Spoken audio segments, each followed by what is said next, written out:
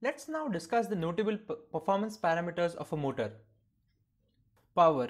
The rating associated with the power of a motor is expressed generally in terms of watts or kilowatts. This power is the input power which is in electrical terms. If you go through the datasheet of a motor, you will see primarily two types of power ratings. The first will be continuous power, which is the power rating at which one can run the motor for theoretically infinite amount of time if the motor is for heavy duty 24 by 7 application. The second aspect will be peak power, the power which can be given to the motor only for a certain time duration. We generally see this in form of a graph plotted against the RPM. Similar to power ratings, we have two types of ratings for torque as well, continuous and peak. They are used in the same context. We can get the continuous torque for long durations but are limited to shorter durations for peak torque. The reason we cannot sustain at peak power or peak torque is that the machine is designed only to continuously work at the continuous torque. It has the ability to go beyond its continuous rated value, but in that case, the machine is not equipped to deal with this instance of very high heat dissipation. Remember that copper losses are in a direct squared proportion of each other. Thus, an increase in current by a factor of 2 will lead to quadrupling the heat losses. This might lead to problems like in extreme cases a thermal runaway in the motor controllers and associated power electronics. The thermal runaway is a phenomenon that is accelerated by increased temperature in turn releasing energy that further increases the temperature. Thermal runaway occurs in situation where an increase in temperature changes the condition in a way that causes a further increase in temperature, often leading to a destructive res result.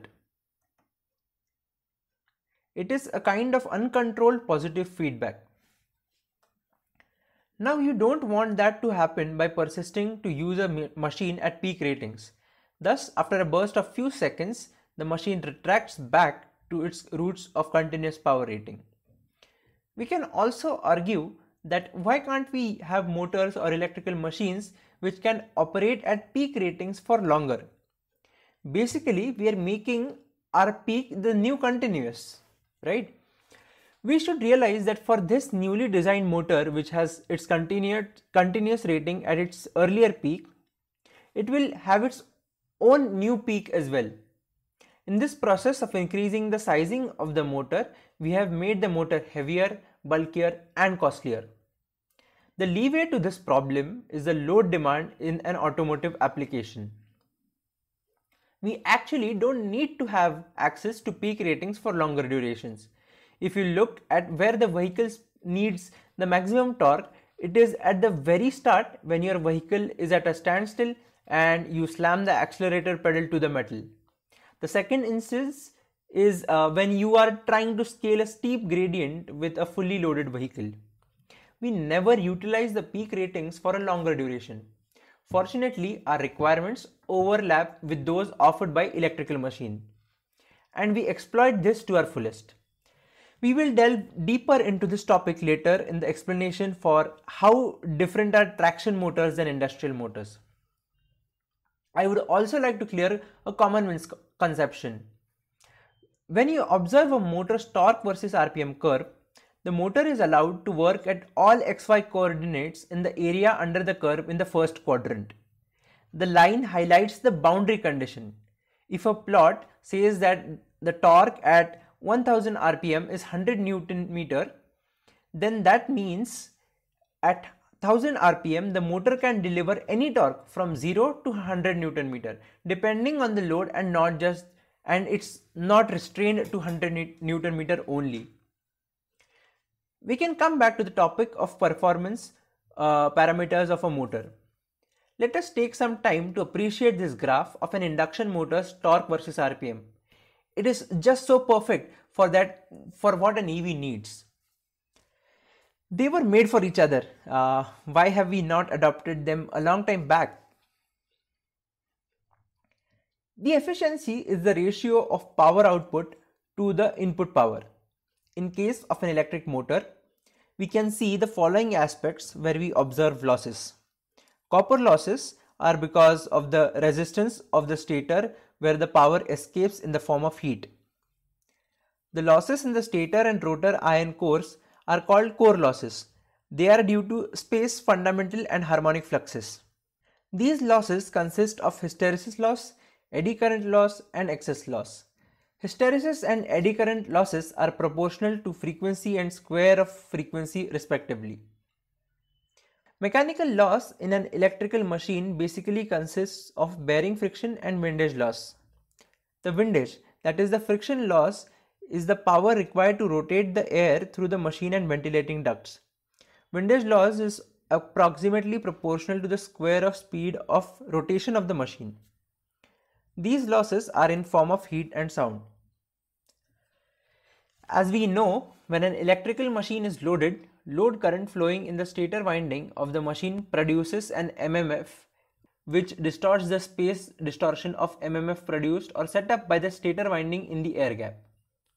This distortion of space distribution of MMF or flux density wave in the air gap of the machine leads to increased losses in core as well as in rotor conductors from its no load value. This increment in the core loss caused by the distortion of air gap flux plus the increment in the ohmic loss that is I square R loss due to non-uniform distribution of conductor current is called stray load loss. Thus, whatever is left after subtracting these losses from the input is the output power of the motor generally termed in torque and RPM.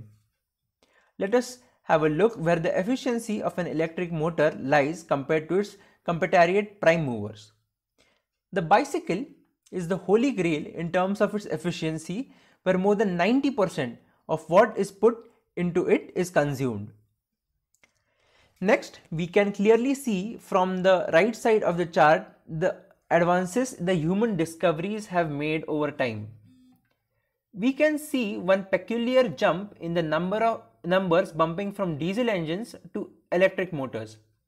Adopting electric motors, even if we grab the least advanced motor, it's safely going to be having more than double the efficiency of the most advanced technology driven diesel or gasoline engine. With further improvements in technology happen rapidly as we speak, the gap between them is going to increase further the combustion technology has already saturated and its rate of increase is exponentially decaying. Thus, it's a no-brainer where the future lies. We have numbers to prove our point. We can see one example how the losses are reduced and the efficiency increased. There are multiple variations or iterations done. Variables such as materials, orientations, dimensions, geometry, control strategies, etc. are iterated. Here, we can visually map the reduction in core losses by changes in material from magnetic steel sheet uh, teeth to amorphous metal teeth. A reduction in losses by almost 70 to 20% is observed. These small and big gains add up to significant contributions.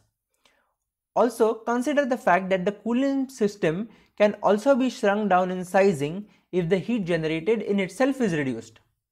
The effects are doubly beneficial. Having a look at this plot can give us an idea about where we should concentrate to minimize losses based on the operating conditions of the motor. We do not need to focus on all the loss making entities. After identifying the most frequent operating area, we can make overall progress by improving the overlapping aspects only. The type and construction of motor can be optimized based on the load condition.